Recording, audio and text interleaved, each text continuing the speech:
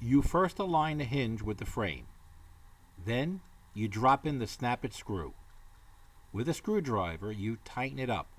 Don't be afraid to torque it down. It's made out of stainless steel. It won't break. After you tighten it, all you do is snap it off. And you're done. No clipping, no filing, finished. That's it.